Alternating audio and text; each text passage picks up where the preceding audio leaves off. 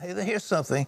After a dental procedure went on, Joanna of Escondido, California, had TMJ because her bite was off and it affected her sleep. She was watching this program, and Terry, who you don't know Joanna of Escondido, California, do you? No idea who Joanna is. You said somebody's being healed of TMJ.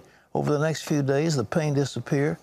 Joanna knew God had done the job, and she is praising God, sleeping Wow. through the night. What else you got? Well, let me tell you about Kimberly. She lives in Wichita, Kansas. She felt sharp stomach pain and started bleeding.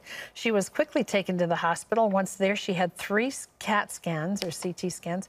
Doctors discovered that she had a tumor in her kidney that was probably malignant. She is the 700 Club partner. She called our prayer line. After much prayer, she had another visit with the doctor. He said, Where did it go? It just can't disappear, but it did. The tumor was gone. Praise God. Hallelujah. Thank you. Folks, God is able. The Bible says, with God, all things are possible. With all things are possible. Now, what do you do? You believe God. Now, Terry and I are going to join hands together. We're going to believe God for you, whatever the need is. Let's hold it before Him right now. Father, Jesus. in Jesus' precious name, we hold before you. Oh, God in heaven.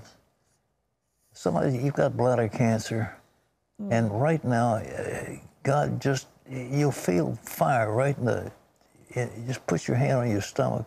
In the name of Jesus, God has healed you. Touch. Terry? Yes, someone else. You have a problem with the sockets of your eye, and it's uh, it just has changed your life. And there doesn't seem to be a simple answer to it. But God, the Creator of the universe, is touching and healing your need right now, and you'll not have a problem with it anymore. somebody, uh, Charlie, I believe it is, you've got uh, your vertebrae, a couple of them are out of place. Uh, those uh, in your neck, the vertebra, you just put your hand right there, and God has just realigned them. You'll hear the thing just pop, and they went into shape right at that moment. Touch.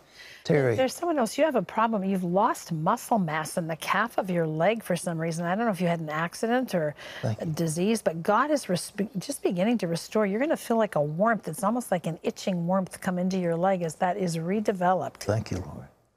Now, Father, for those in this audience, whoever they are, wherever they are, let the anointing of the Holy Spirit come upon them.